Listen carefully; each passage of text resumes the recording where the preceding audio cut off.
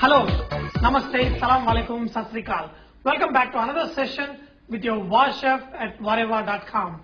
I know February 14th is coming. Somehow I'm always late. But from next time, when a festival is coming, I'll make sure we'll have videos upfront 10 days before the actual festival. So today, we're going to make the basic eggless sponge. After that, we're also going to make black forest cake. Before I go ahead and show you how to make this basic eggless cake, let me tell you what happens in a regular cake and why making eggless cake is a little more difficult. You know, making eggless cake is lot more difficult than making a cake with eggs because, you know, the cake with eggs, eggs acts as a very good binding as well as a raising agent, which is missing in our eggless cake. So whenever we make eggless cake, you know, we don't use deep pans like this. See, in the deep pans like this, when you make an eggless cake, the inside part is little bit raw and it doesn't cook very easily. Whereas, when you use the same mixture on a thin sheets of these trays, see, with this tray, what we're going to do is we're going to pour a very thin layer of eggless cake mixture. We're going to bake in two or three trays. After it is done, we're going to cut the sheets into the shapes you want and we're going to make the cakes.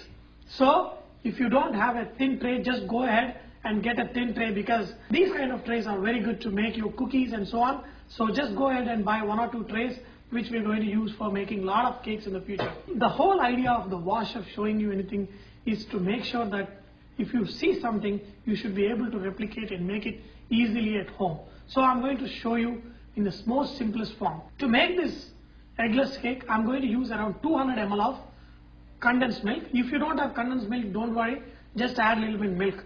I'm going to pour around 200 ml of condensed milk. For this, if you have regular sugar, you can go ahead and add. But if you have powdered sugar, you know, it's even more better. It makes it a little bit easy. So I'm going to add uh, powdered sugar, around one and a half uh, cup of powdered sugar. And then let's mix.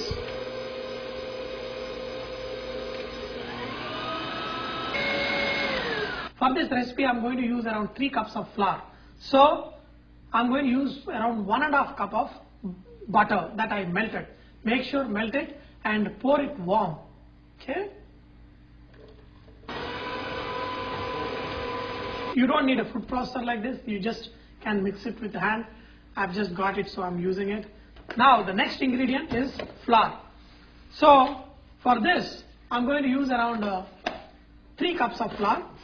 So instead of 3 cups, I'm going to add 2 and a half cups of flour. Why instead of 3 cups, why I'm adding 2 and a half cups is because I'm going to use that half cup of cocoa powder. Okay. Now I'm going to add, here is my half cup of cocoa powder. So now you're getting to understand what you do to make a nice chocolate cake.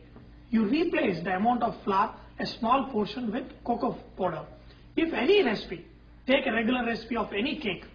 If it asks for 3 cups of flour and if it is a regular vanilla cake and you want to make it into a chocolate cake, all you do is reduce half a cup of uh, all-purpose flour with cocoa powder and it will work fine. For this, use around 1 tablespoon of baking powder. Usually we never use this much quantity of baking powder but since this doesn't have eggs which acts as a raising agent, we increase a little bit amount of baking powder. That's what I did. Just mix it up. Pour this mixture of sugar, butter and um, condensed milk into this.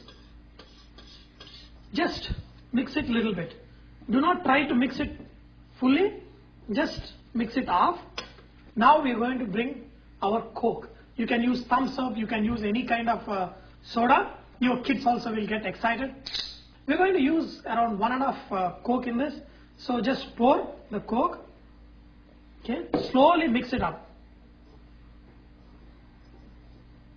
Pour more.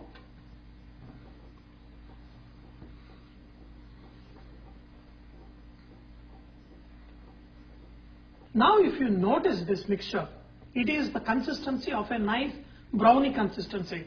This thickness is not good enough because we want to make it a nice sponge cake and we're going to spread it on a thin tray. where little extra moisture will not hurt.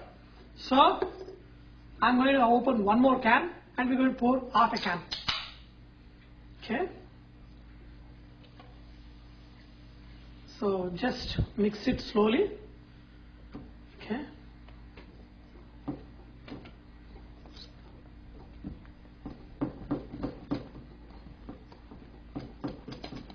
Now our cake mixture is ready. So now we are going to pour this into thin trays and going to put it in the oven. Now I've got two trays. These both these trays are non-stick trays. But in case I'm going to use this non-stick spray, okay, a little bit. You can also use uh, butter paper. That's what uh, a lot of people call it as a baker's sheet on the tray. That way you can remove the, your sheet easily from the tray after it is baked. We're going to split this equally.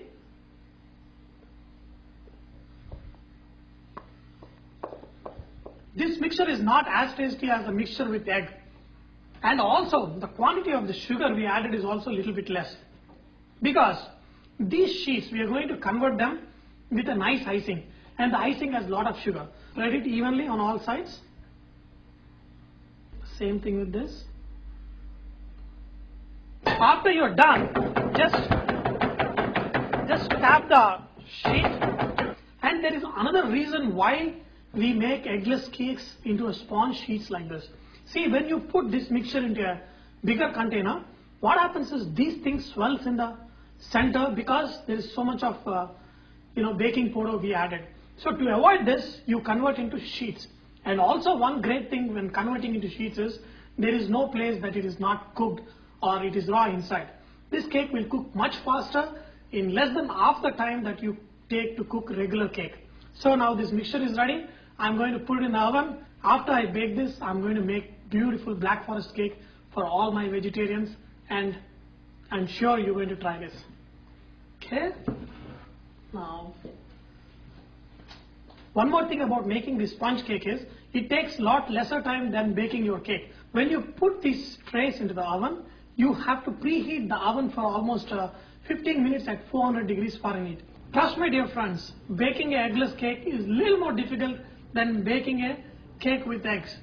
To make this eggless cake into sponge sheets, you need to bake first 15 minutes at 400 degrees Fahrenheit and then immediately switch off the oven. Do not bring the sheets out even if you see a little bit color. Switch off the oven and let the oven cool down a little bit. So in the meantime, this rest of the cakes will get cooked. So total 30 minutes. First bake it at 400 degrees Fahrenheit for first 15 minutes and switch off the oven but do not remove the sheet out. But if you want, you can keep the oven door a little bit open if you see too much color on these cakes.